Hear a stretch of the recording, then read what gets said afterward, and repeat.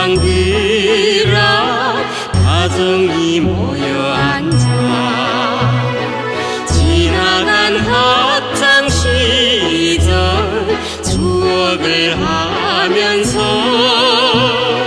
다시 만난 오늘의 기쁨도 이 술잔에